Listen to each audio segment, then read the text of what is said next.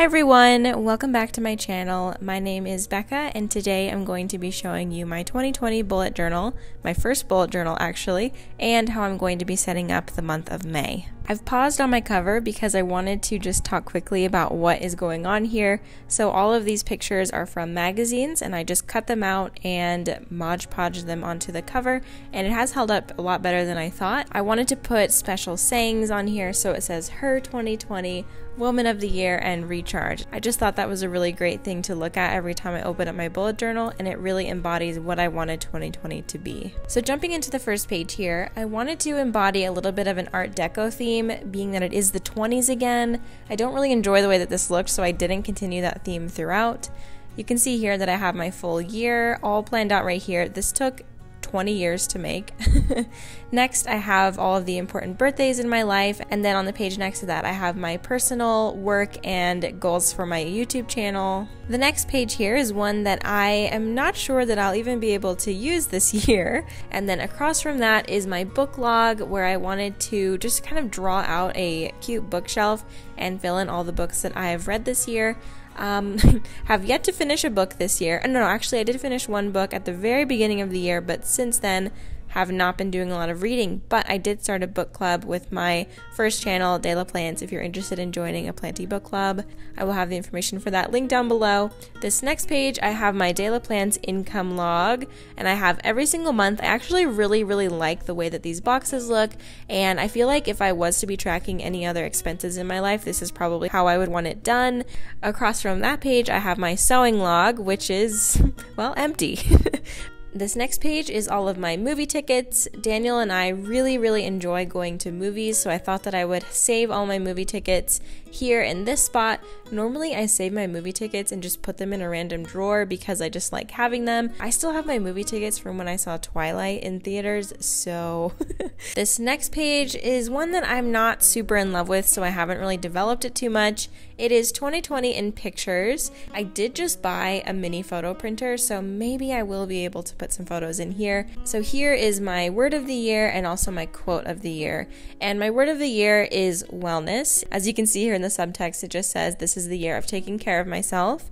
I feel like a lot of the time I can become a workaholic and I just don't really give myself time to exercise or eat well or even give myself time to think about these things. I really wanted to carve out wellness and make a way for that in my life. And I feel like I've done a really great job of doing that so far. We're five months in, and I don't know, I just feel really good about that. And then my quote of the year you can only move forward. So if you didn't know this, I am an Enneagram type 4, which means I am horribly nostalgic.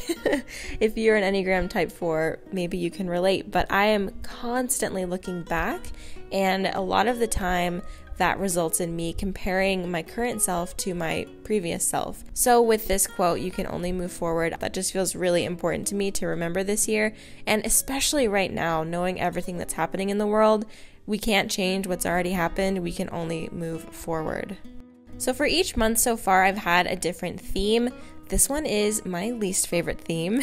this was obviously my first time ever bullet journaling, so I knew that this one wouldn't be perfect. I started out the month by listing out important dates, my goals, and good stuff that happened that month. And as you'll see as I'm going through the progression of this, I didn't use a lot of the space that I created, and I'm not too broken up about it honestly because, like I said, I'm just getting into this, so I'm still figuring out what I like and what I don't like, and what I need and what I don't need. And you will see in especially in February, I definitely do not need as much space as I gave myself to write out tasks for my daily sections. So, February, I decided to draw out my month, and I also decided to draw out a section where I could schedule out my videos for my first channel. And honestly, I ended up not even really using it that much. And then I switch around my videos so often that I didn't even really use this video box either. The page that I used the most was this brain dump, and that is just where I have notes of important things, and then I started off my weekly and you can see it's totally empty which is really sad. I think i realized like the last week of february oh shit i have this thing. So then we get into march which is a month that i actually really really enjoyed the setup of. This is a little bit more of my style. I really like the collective eclectic feel of this old book pages. I don't know just something about this it really spoke to me and i really really enjoyed this theme for march However, we didn't do anything in March because quarantine. So my bullet journal fell to the wayside unfortunately. And I would like to use this theme again later on in the year because I really, really enjoyed it and I didn't feel like I used it at all. So that would be the end. I did not use my notes. I put a nice sticker there to make up for it. And that's it. For May, I decided that I wanted to do another sort of collective, eclectic scrapbooking feel. So I'm going for a magazine collage theme. I have made a lot of magazine collages in the past. I really, really enjoy this. In fact, my childhood bedroom had a huge wall, like an entire wall of my room was filled with magazine cuttings and it was it was awesome. So while I was looking through the magazine, you probably saw me ripping out certain pages or cutting out certain sayings. I just look for things that pop to me and things that I find interesting, and then I will cut out the shape of them for some of them, or I will just cut out certain words, and then I will go through and trim around the edges, cut out what I found specifically interesting. Something that I really like adding into my collages is a cutout of a person, so either it's their head or their whole body. I really like also cutting out eyes or lips, mouths, what have you. I just find that those are really, really striking in collages, and you will see me using those a little bit later on when I put together a full collage For my actual month spread, I wanted to keep it simple, and I found this really, really beautiful photo from an editorial shoot. And I just loved the way that this desert background looked, and I wanted to have a collective look as well with the letters. So I cut out different letters, and it was actually very, very difficult finding a Y I don't even want to tell you how long it took me to find the why. But I'm going on and I'm painting on Mod Podge on the pages.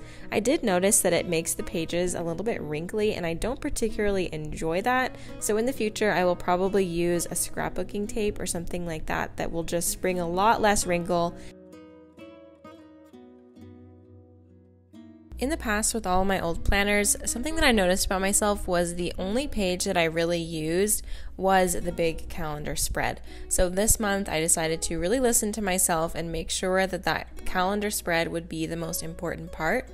And for some reason, I don't know why, but it is so difficult to get all of these boxes even.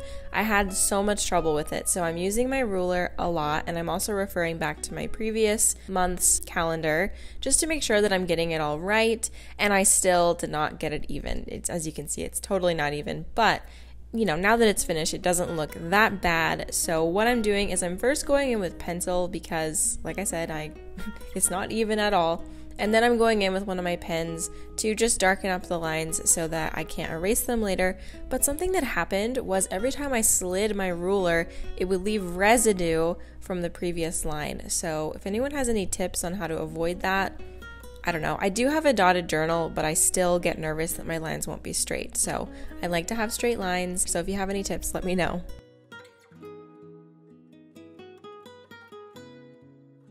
One of the bullet journalers that I really enjoy watching, Amanda Rach Lee, uses these white jelly pens, and I thought that was so, so cool. So I blackened out the top here, and then I'm just writing in the days of the week. The next spread that I needed to work on was my brain dump or my notes page. I found these light bulbs in a Neutrogena spread, and I really liked the idea of having light bulbs on my ideas page, but after I ended up gluing them down, I kept getting dirty fingerprints all over them and it looked super bad. And then I found another page that I just really enjoyed of some shoes and I made that sort of header. And then I used some washi tape to just write out the title for the page. The next thing that I needed to do was make my weekly spread, and since I know that I don't really use these that much, I wanted it to be as little work as possible. So I have these Rifle Paper Company weekly spreads, which I actually used in college a little bit too, but a friend recently gave me this pad. And I will say later on, I noticed that they created a lot of bulk inside of the journal. So what I did was cut them in half and tape one side on one page and the other side on the other page. So it still uses eight pages but I didn't have to go through the trouble of writing everything out and measuring and all that junk. So hopefully this will be a little bit more practical for my use. The next spread that I wanted to make serves absolutely no purpose in the bullet journaling realm, but it is super, super fun for me to get creative with these.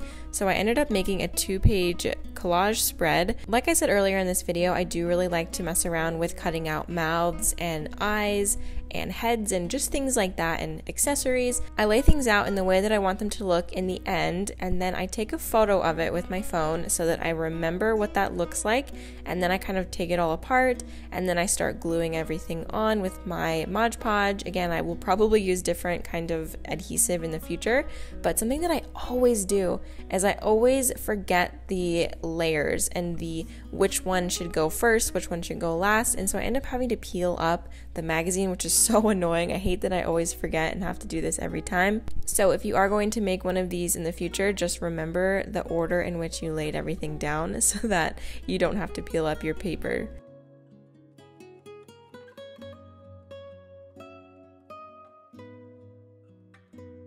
And then for the other side, here's another quick example of me putting together another side. This one I struggled a little bit more with because I wanted to have this big waterfall hug picture in it. So having something really big kind of will make it a lot more difficult for you with making collages. So just keep that in mind if you ever want to make one of these. Maybe the smaller photos, the better. Now, the last actual spread in my bullet journal monthly setup is going to be this activity log where I will just write down every time I do something active. This is my first time ever doing this, and I think that I will really enjoy it because I really enjoy making lists and checking things off. So I think that I know it's a really, really small thing, but I think that even just the idea of writing down that I worked out or I did something active will motivate me to do it more often. And if you're a list person, maybe this will help you too. I'm not sure, but I'm to see if it works for me. Alright, you guys, that would be the end of my May 2020 bullet journal setup. I really hope that you enjoyed walking through this with me. If you have never bullet journaled before, I really suggest you try it out. Bullet journaling can look any way you want it to look, it doesn't have to look like mine. You make it exactly what you want it to be, and I think that is the best part. I hope you guys have a wonderful rest of your Sunday, and I will see you next week.